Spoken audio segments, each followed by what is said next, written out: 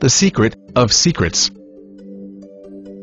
The just announced Nobel Prizes, for both chemistry and physics have gone to research related to the carbon atom. The Nobel Prize for Chemistry went to three scientists for developing a toolkit to manipulate carbon atoms, while the Physics Prize has gone to two Russian-born physicists for their study on the remarkable properties of graphene, an ultra-thin form of carbon. While announcing the Nobel Prize for Physics, the Royal Swedish Academy of Sciences stated, Carbon, the basis of all known life on Earth, has surprised us once again. They do not realize how loaded their statement is. For what we have seen in graphene, is only a small glimpse of the wonders the carbon is capable of. Especially what awaits us in the very near future. Before we reveal the form of carbon that is going to change every aspect of our lives, so completely and so drastically, let us bring to your attention a few other related occurrences that have been making the news in the past weeks. Recently there was a flurry of concern in the scientific circles regarding the discovery of the sun's influence on the decay of radioactive elements on Earth. It was found that some kind of strange emissions from the sun are causing matter to mutate on Earth. Its influence on the decay rates of elements like carbon-14 has been especially worrisome and unexpected. Carbon, as previously stated, is the basic building block of life, as we know it. And carbon-12 is the most abundant form of carbon, accounting for about 99% of all known forms of carbon. It is the isotope of carbon that consists of 6 protons, 6 electrons and 6 neutrons. 6, 6, 6. Does that sound familiar? After oxygen, the second most abundant element in the human body is carbon-12. On cremation, the body returns to its carbon-12 state. After hydrogen, helium and oxygen, which are all gases, carbon-12 is the most abundant element in the universe. Carbon-12 is also one of the five elements that make up the human DNA.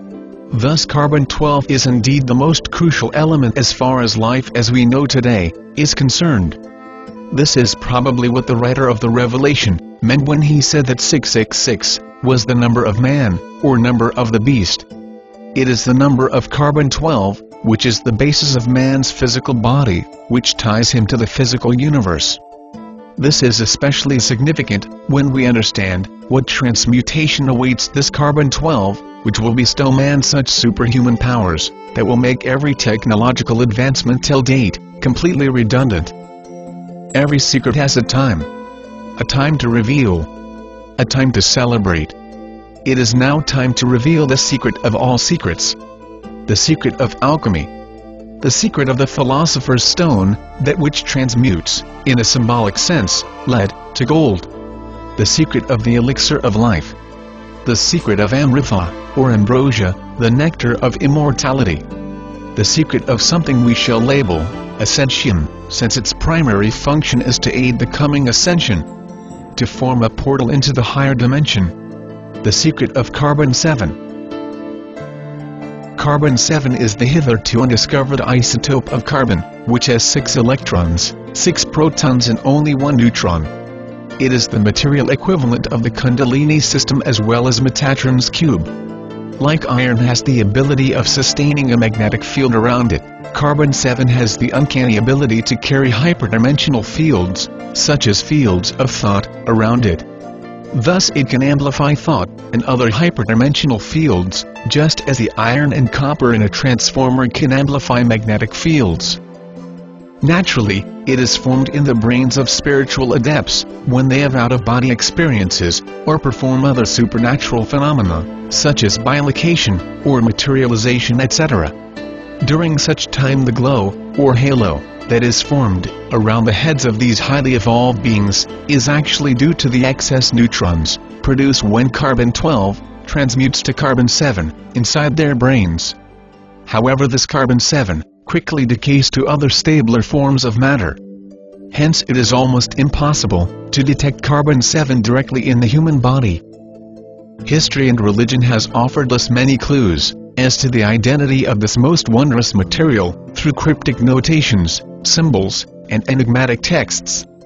But it had to veil it in the most puzzling language and symbols since this knowledge, in the wrong hands, could mean the destruction of this planet. Such is its power. In that case, you may ask, why we are revealing it now, since the same risks are still prevalent. There are two main reasons for this revelation, at this point of time. 1. We are now at the very threshold, of the most significant shift humanity has ever experienced. It is the time for all secrets, to be revealed. We have been holding on to this secret, for a long time. And nature has spoken, through signs that the time for this secret too, has come too.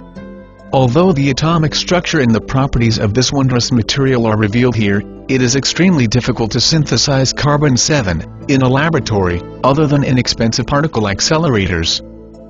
In the Kundalini system, this 661 configuration is represented by the male and female counterparts of the six lower chakras and the seventh chakra, which is the neutral Sahasrara.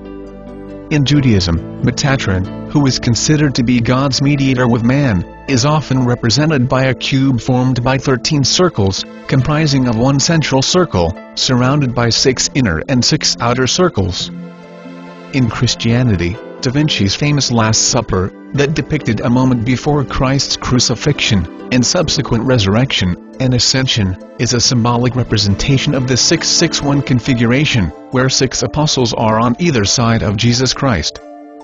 It is interesting to note that both Kundalini, Metatron, and Christ are vehicles of ascension, albeit in different spiritual systems.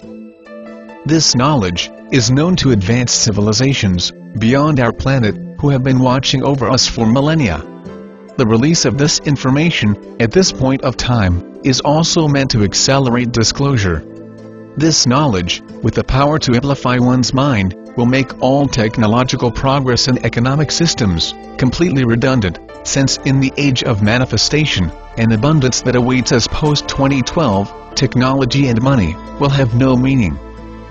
In the period post-disclosure, the conditioning of man will take place, during which time, the collective mind of man will undergo a quantum shift to expansiveness. A critical mass of humanity will cross over from an egocentric, material life, to an egoless, love-filled, and spiritual life. The sun's activity during this time will ramp up, the final transmutation that will be affected by the sun will be the transmutation of the carbon-12 in human DNA into carbon-7. This will empower man to survive the final double cataclysm of the super flare pole shift and migrate to the higher dimensional new Earth. This is a timeline that we must realize.